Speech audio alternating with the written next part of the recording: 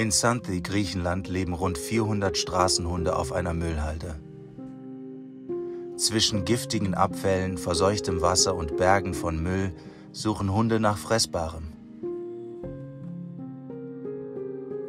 Sie töten einander in Kämpfen um Nahrung, Welpen werden in der Müllpresse zerquetscht und ausgehungerte Hunde fressen aus Verzweiflung die Kadaver verstorbener Artgenossen.